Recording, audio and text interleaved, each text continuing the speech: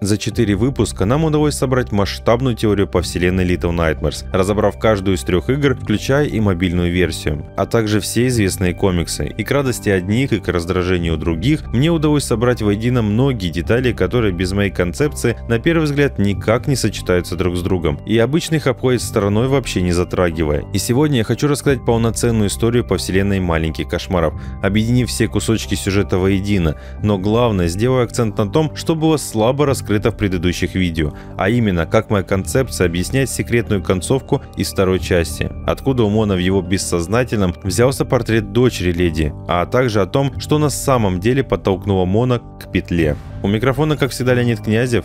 Поехали!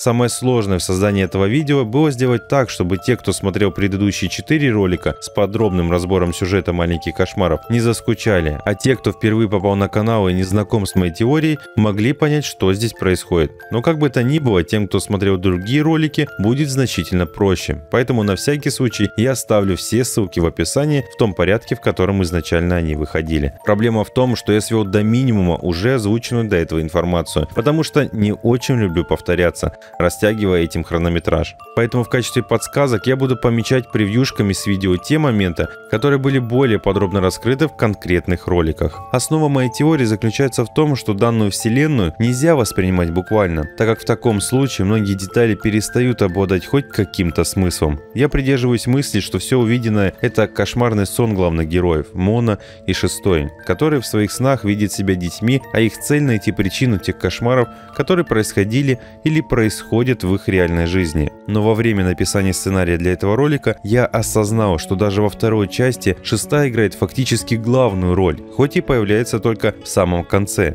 в секретной концовке. К моему удивлению, мне до сих пор пишут, что мобильная игра Very Little Nightmares выпадает из моей теории, хотя я сделал вполне удачный разбор ее сюжета и, на мой взгляд, идеально вписал ее в свою историю. Даже при учете того, что ее делали другие люди, которые вообще не относятся к основной команде разработчиков. Я не уверен, чтобы они могли обойтись без консультации создателей этой вселенной. Тем более, что на тот момент основные права еще принадлежали им. Но даже при том, что я получил колоссальное удовольствие от ее прохождения, у игры есть весьма серьезный недостаток. Она очень быстро закончилась. Что не скажешь про Raid Shadow Legends, который и стал спонсором сегодняшнего видео. Raid это одна из комплексных мобильных игр, где более 500 чемпионов из 13 фракций, каждый из которых хорош по-своему, но при этом может правильно дополнить свою команду. А разного рода артефакты помогают создавать абсолютно уникального чемпиона исключительно под свой вкус. А в скором времени появится 14 фракция Shadow King с новым чемпионом. Масштаб игры способен удивить любого, Компания разбита на 12 глав, там ты сможешь прокачивать в битвах своих новых чемпионов и наслаждаться озвученной линией сюжета, узнавая историю мира. А в режиме арены ты сможешь по-настоящему проверить свои силы против других игроков и добыть себе славу. Помимо этого есть режим подземелья с 10 боссами, победив которых ты добудешь новые артефакты, чтобы сделать своих чемпионов еще сильнее. В этом месяце Рейд отмечает вторую годовщину с момента запуска и за это время собрал вокруг себя более 25 миллионов игроков со всего мира и юбилейные ивенты – лучшее время, чтобы ворваться в рейд, так как в течение шести недель, начиная с 1 марта и по середину апреля, будут проходить всевозможные турниры с безумными внутриигровыми призами. Также рейд проводит специальный конкурс для всех новичков, что скачают игру по моим ссылкам в описании или по QR-коду в углу экрана в период с 1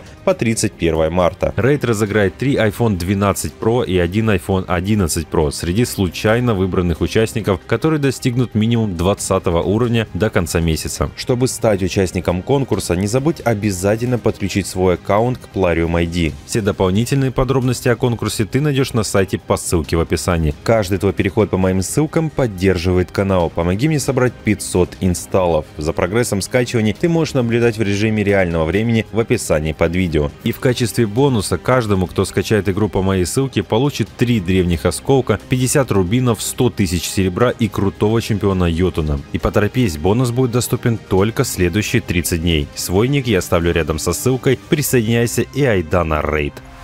Хронология вселенной Little Nightmares далека от прямолинейности. Чтобы упростить задачу, для начала поставим все эти истории в правильном порядке. И первой на очереди стоят два выпуска комиксов к первой игре. Там узнаем короткую предысторию шестой, а точнее Леди. Далее идет, нет, не вторая часть, а именно первая, где шестая пытается побороть свой грех, заменяя его своим образом из реальной жизни, признавая этим, что разделяет ответственность за происходящее на чреве. А вторые кошмары идут параллельно этой истории, раскрывая историю Мона, его детство, юность, вплоть до того момента, как он оказывается в каюте и будет известен нам как повешенный. Кто-то меня спрашивал, что могло быть в записке, лежащей рядом с ним. Простыми словами, там он рассказал свою предысторию, которую мы увидим во второй части, как он пришел к этому. И как раз эту записку находит шестая. Именно поэтому в секретной концовке, когда шестая вываливается из телевизора, который у нас уже прочно ассоциируется с Моно, нам намекают, что теперь шестая знает судьбу повешенного, и ее подсознание в виде этой тени предлагает покончить с чревом, что побуждает в ней духовный голод и желание противостоять корпорации, которая стоит за похищением детей,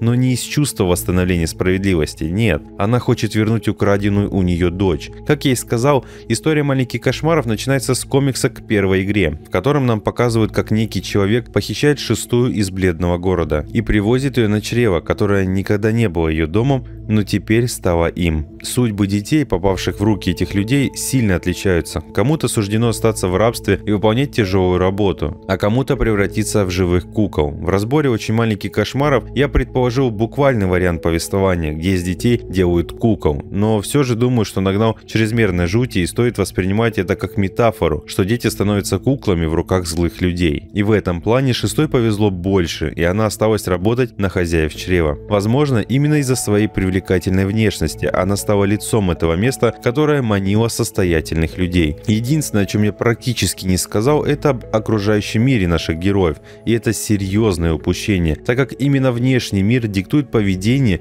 и реакцию героев на раздражители. На чемодане шестой есть занимательная фотография, которой однозначно нужно относиться как к пасхалке, но она способна рассказать намного больше. На E3 2005 года был показан трейлер игры The City of Metronome от тех же ребят, которые будущем выпустит игру «Маленькие кошмары». Но, к сожалению, город Метроном никогда не увидит свет, так как игру просто отменили. Но более чем уверен, что ее наработки или хотя бы дух должен был быть унаследован. Эта фотография на чемодане, к которому мы еще вернемся, изображает так называемого метрогнома, который продает зубы, вырванные стоматологом. Если детально ознакомиться с трейлером и обрывками информации по игре, то вполне очевидно, что эти метрогномы – это образы детей, которых используют в качестве подсобных рабочих. Что-то подобное можно видеть и в «Маленьких кошмарах», когда номы поддерживают работоспособность корабля. На самом деле в истории детский труд далеко не редкий случай, даже в наше время в некоторых странах это распространенная практика, поэтому удивляться этому не стоит. Так вот, этот город Метроном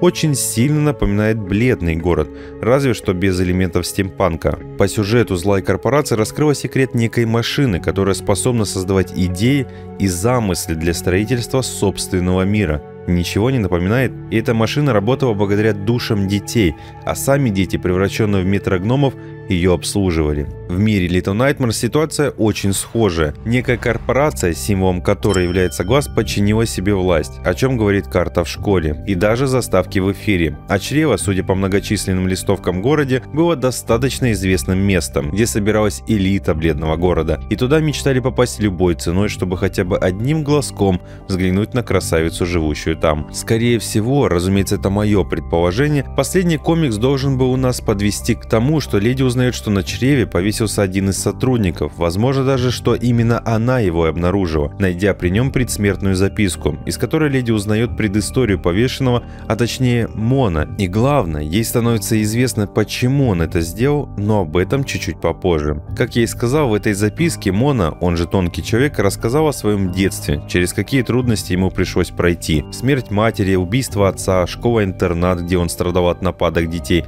что в конечном итоге закончилось дракой дракой, возможно даже с летальным исходом. После чего он попадает в психиатрическую больницу, откуда через какое-то время бежит. Каким-то образом ему удалось устроиться на почту, где-то в это время он узнает о леди. Храня ее фотографию, он мечтает быть рядом с ней, что в конечном итоге приводит его на чрево. Но эта любовь сыграла с ним очень злую шутку. Леди не подпускала его к себе, а в дальнейшем у нее появилась весьма серьезная причина закрыться от окружающего мира, ведь ее дочь, которую она прятала от своих хозяев, была ими похищена. Сам Мона, попав на корабль, какое-то время успел там поработать. В играх, которые строятся исключительно на визуальном повествовании, не бывает случайностей, поэтому стул, который стоит под повешенным, повторяется в других комнатах не просто так. Это сделано для того, чтобы помочь игроку связать места, в которых мы их находим, именно с этим персонажем. Это помогает понять, что его задачей было следить не только за похищенными детьми, но и за персоналом чрева. Практически в каждом видео я приводил множество доказательств, что это повешенный, поэтому не буду на этом останавливаться. Раз зашла речь о предыстории Мона, которую мы узнаем не только из игры, но и из веб-комиксов, я бы хотел вспомнить последний из них. В том, где мы видим горящую школу-интернат. Судя по тому, как одеты дети на заднем плане, это именно она.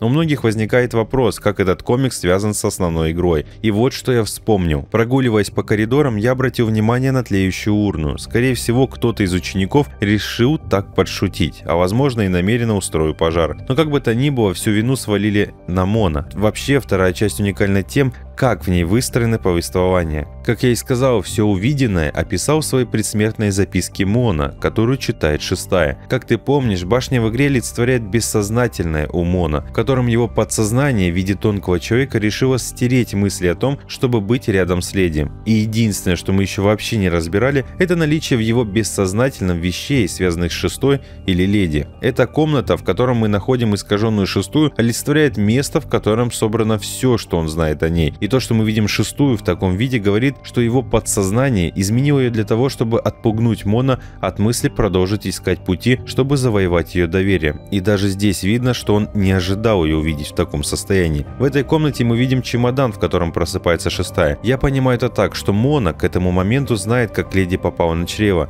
Также мы видим куклы, которые принадлежат леди, а главное портрет девочки, ее дочери. То есть Мона знает, что у нее была дочь. Ее лицо изрисовано сделано не случайно. Я долго не мог понять, что могло подтолкнуть Мона залезть в петлю. Безответная любовь вполне возможно, но на основную причину все же тянет слабо. Раскаяние в том, что он принимал участие в похищении детей, тоже может, но как-то не очень. И, кстати, те, кто пишет, что почему у него стул не перевернут, а такое ощущение, как будто его подвесили. Ребят, это сон, это искаженное восприятие. И вот что интересно, комната, в которой Мона следил за чревом, однозначно скрыта от посторонних глаз. Но странно, что в таком месте, в котором держат похищенных двухмесячных детей нужно делать потайную комнату с наблюдательным пунктом. От кого это прятать? И тут я подумал, что если его работой было наблюдать за персоналом чрева. И когда он увидел, что леди прячет свою дочь, а как раз одна из камер установлена именно в ее комнате, он рассказал об этом хозяевам, после чего ее забрали. Вот что могло стать реальной причиной того, что Мона не смог себя простить. И в своей предсмертной записке он рассказал, куда ее отправили. Вариантов, почему он мог так поступить, может быть масса. Одним из которых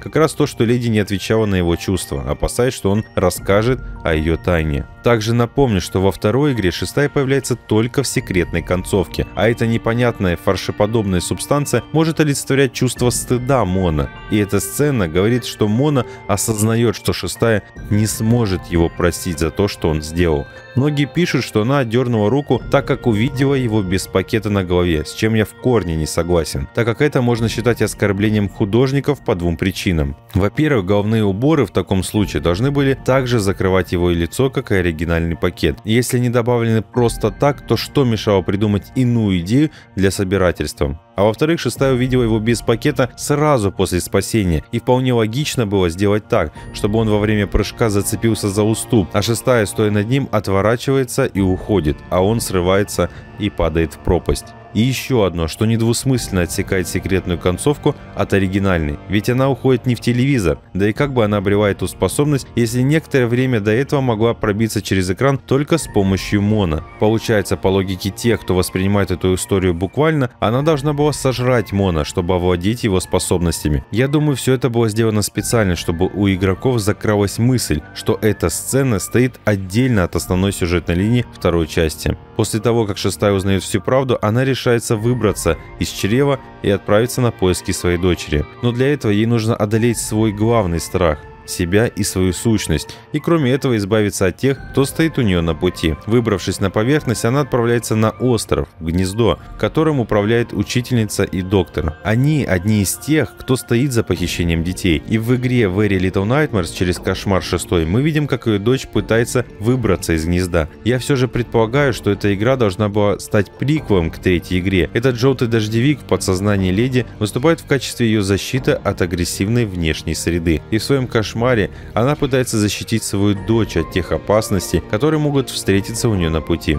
Конечно, есть шанс, что когда-то в будущем разработчикам разрешат выпустить продолжение этой уникальной истории, в которой мы узнаем правду. Но хочу заметить, что официальное подтверждение моей теории может и никогда не произойти. Предположим, что я оказался прав, то в таком случае это рушит неповторимую атмосферу игры, которую после этого будет крайне сложно восстановить. Но как бы то ни было, то, что ты услышал, это лишь мое субъективное видение и главное ощущение этой истории. Не так важно, прав я или нет. Просто в таком виде эта игра приобретает неповторимые оттенки печали и скорби. И на мой взгляд, иногда полезно немного погрустить. Я бесконечно благодарен всем, кто поддержал мою теорию. К сожалению, на данном этапе этот ролик заключительный по этой вселенной, но надеюсь, что в будущем мы все же увидим хотя бы дополнение ко второй игре. И не вздумай печалиться, впереди нас ждут новые истории из игр и фильмов, которые с огромным удовольствием разберу для тебя. Лайки и комментарии приветствуются, лучше даже не один. Обязательно покажи этот ролик друзьям и, конечно, подписывайся и проверяй колокольчик, чтобы ничего не пропустить. А на этом сегодня все. С вами был Леонид Князев. Пока.